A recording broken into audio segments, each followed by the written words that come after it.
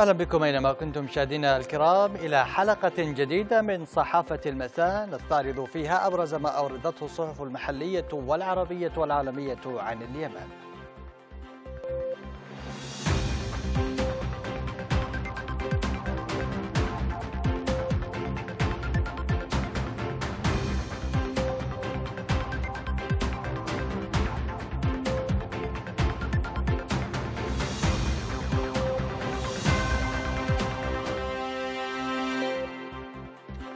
إذا نبدأ هذه الجولة من موقع المهرية نت الذي ركز في تقرير له على عملية النزيف التي تعانيها البيئة البحرية والشعاب المرجانية والعبث بالطبيعة.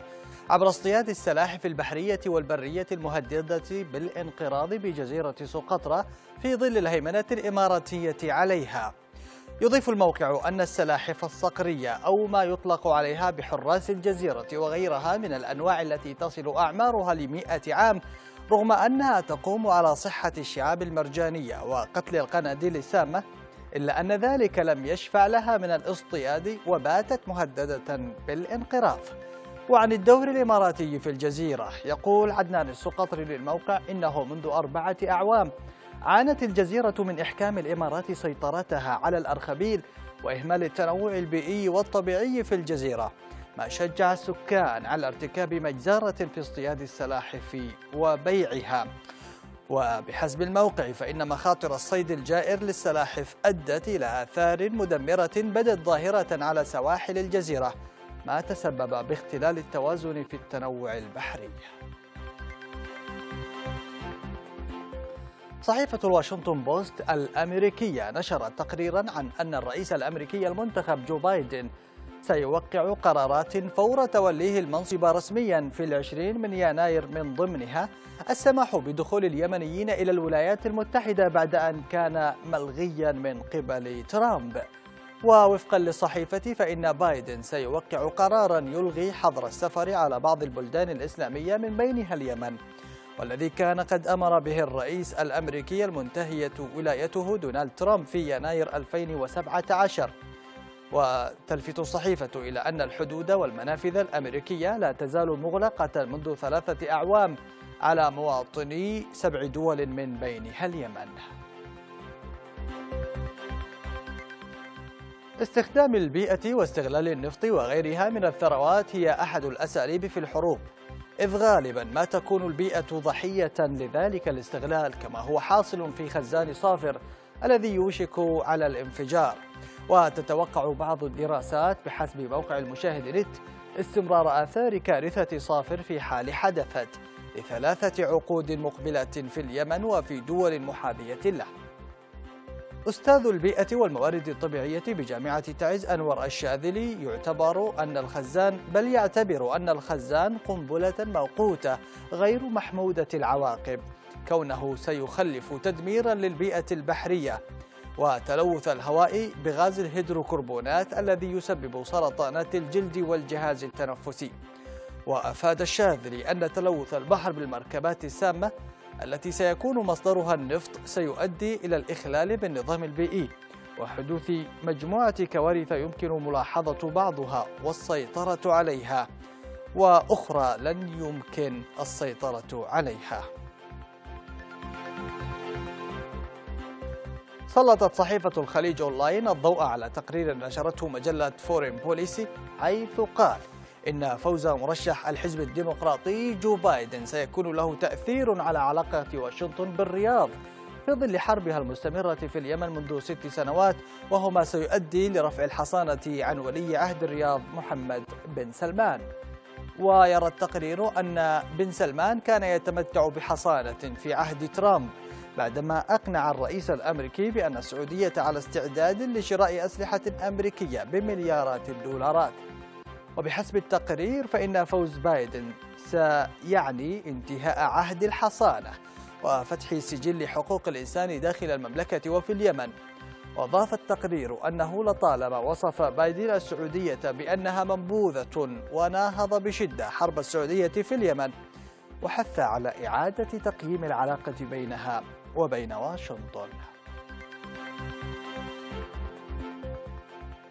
وقالت منظمة جيمس تاون في تقرير لها إن الوجود السعودي في محافظة المهرة يهدد استقرار المحافظة وقد يدفع بسلطنة عمان المجاورة للتخلي عن حيادها من الصراع الجاري في اليمن.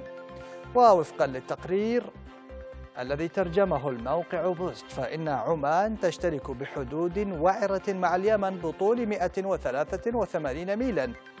وتعتبر السلطنة محافظة المهرة حاجزا مهما بينها وبين الفوضى التي اجتاحت البلاد منذ ست سنوات. ويلفت التقرير إلى أن المهرة كانت مستقرة طوال فترة الحرب إلا أن المطامع السعودية تشكل تهديدا لهذا الاستقرار بعد أن أقامت وجودا عسكريا في العاصمة الغيضة ومنطقة حوف. وهو ما قوبل باحتجاجات ومقاومة من الأهالي لما يعتبرونه احتلالا سعوديا لمحافظتهم.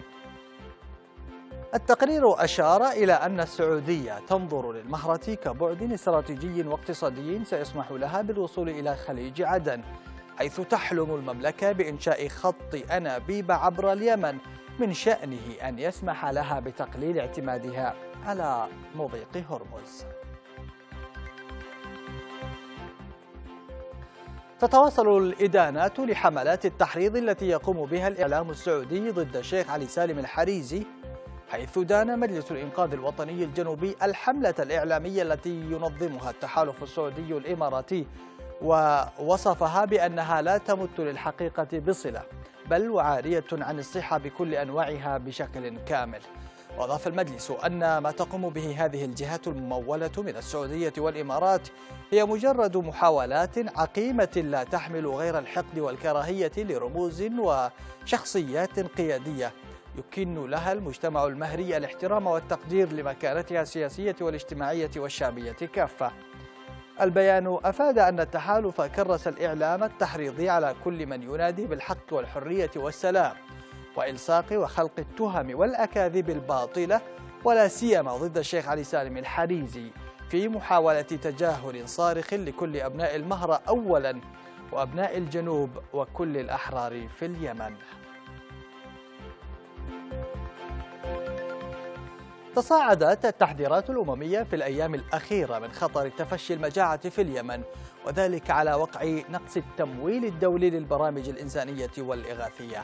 موقع الصحوة نت أورد أن تحذيرات تجددت في أحدث بيان مشترك لمنظمة الأغذية والزراعة الفاو وبرنامج الأغذية العالمي حيث أكد البيان أن اليمن وثلاث دول أخرى معرضة لخطر المجاعة. في السياق ذاته قالت كلوديا بو كبيرة مستشاري الأمن الغذائي في برنامج الأغذية العالمي إنه من بين عشرين منطقة شديدة التأثر. هناك أربع مناطق نشعر بالقلق من أنها قد تواجه خطرا متزايدا بشأن الوقوع في براثن المجاعة. برنامج الأغذية العالمي حذر من جانبه قبل أيام من أن ملايين اليمنيين محاصرون من الصراع والجوع وأن كلفة الأغذية الأساسية باتت أعلى من أي وقت مضى. نهاية صحافة المساء. شكرا لكم على طيب المتابعة. إلى اللقاء.